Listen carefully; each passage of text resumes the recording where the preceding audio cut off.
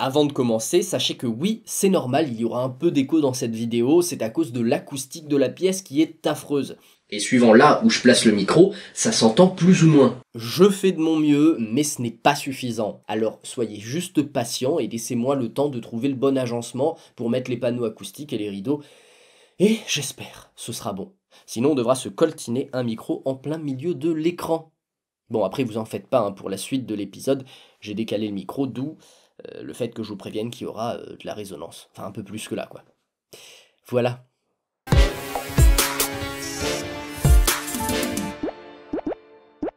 Bonjour à tous, aujourd'hui on se retrouve pour une vidéo simple mais intéressante, car en faisant mes recherches pour les prochaines vidéos, je suis tombé sur un article qui a suscité ma curiosité. Il parlait de la réalisation de desserts à base de légumes. Pour certains c'est surprenant, alors que pour d'autres ça n'a rien de bien étrange. Mais moi-même, en tant que cuisinier, qui ai déjà entendu parler de ces spécialités, je n'y ai jamais goûté. Du coup, je me suis dit que ça pouvait être intéressant de réaliser quelques-unes de ces étrangetés pour vous les proposer en... Ouh là là Et il faut que je mange, moi. Je parle de nourriture, j'ai les crocs.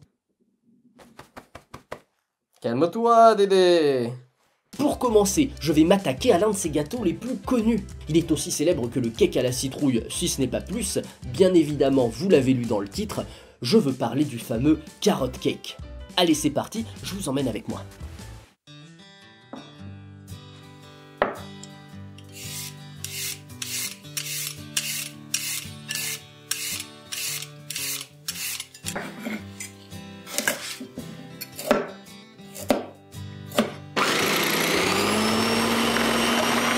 Ok, une fois toutes les carottes râpées, blanchissez vos œufs, ajoutez-y les épices sèches ou fraîches, la levure, l'huile, les carottes et la farine. Mélangez le tout énergiquement. Moulez et enfournez à 190 degrés pendant environ 30 minutes. J'avais pas de grands moules ou de moules à cake, donc je les ai fait dans, des petits moules de tailles différentes pour voir ce que ça donnait au niveau de la cuisson, et puis on va voir au niveau euh, gustatif s'il euh, y a quelque chose qui est moins agréable euh, que l'autre, mais bon, ça reste un gâteau, il y a peu de chances que ça soit le cas. Bon déjà, sachez qu'il existe une tonne de recettes bien meilleures que celle-ci. J'en ai juste choisi une qui me semblait la plus nature et la plus basique possible. Je voulais pas d'ingrédients comme du chocolat, de la noix de coco, du beurre, de la poudre d'amande, ou bref, toutes sortes de choses qui auraient pu drastiquement améliorer la texture et le goût de ce gâteau. Moi je voulais la recette de base pour savoir si c'était une bonne idée et si c'était bon. Mais avant de passer à la dégustation, décortiquons un peu ce cake. Voir quelle tête il a, quelle odeur il a, quel aspect il a. Déjà, euh, c'est un gâteau euh, moelleux. Franchement, il a une bonne texture. Ah, il a une texture un peu, un peu spongieuse. Il, a, il fait un bruit particulier. Après, c'est vachement gras. C'est vachement gras. Ah oui, d'ailleurs, c'est pour ça que je lui ai pas fait de glaçage. Normalement, il y a un glaçage dessus. Ça m'intéressait vraiment pas, je suis pas fan de ce genre de choses. C'est rajouter euh, de la matière grasse, c'est alourdir le dessert pour rien. Donc j'en ai pas mis personnellement. Et puis ça apportait rien de plus au dessert, à mon humble avis. Niveau odeur, ça sent les épices. On sent pas la carotte, mais ça sent... Euh, ça sent la madeleine, ça sent le muffin, ça sent le gâteau au beurre. Pourtant, il y en a pas. Si on dit pas qu'il y a de la carotte dedans, ça donne envie. Ensuite, on peut constater que c'est un gâteau qui, retombe un peu à la cuisson. Donc c'est-à-dire qui, gonfle, qui gonfle et ça retombe. Alors par contre, j'ai bien fait attention que la cuisson soit terminée avant d'ouvrir. Et c'était le cas. Et comme d'ailleurs j'ai vu que c'est retombé la première fois, j'ai fait une deuxième recette et ça a donné le même résultat.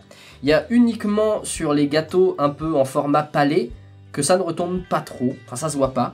Alors maintenant, voyons l'intérieur.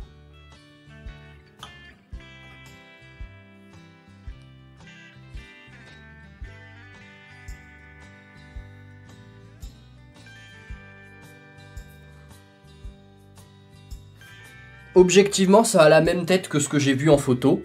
Après, ça donne vraiment euh, un aspect de, de pudding, mais de pudding aux fruits confits. Je pense sincèrement que les épices dans le gâteau à la carotte sont importantes parce que hum, ça met en valeur la carotte sans la dénaturer. C'est des choses qui vont très bien avec, hein, gingembre, cannelle, muscade. C'est pas des choses qui vont, qui vont adoucir complètement son goût ou qui vont l'effacer.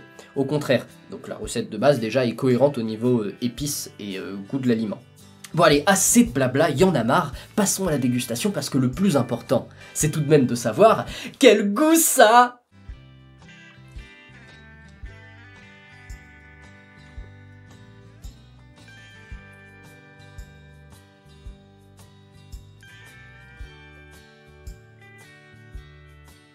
C'est marrant parce qu'on est entre la madeleine et entre le clafoutis, niveau euh, texture gustative. C'est pas mauvais.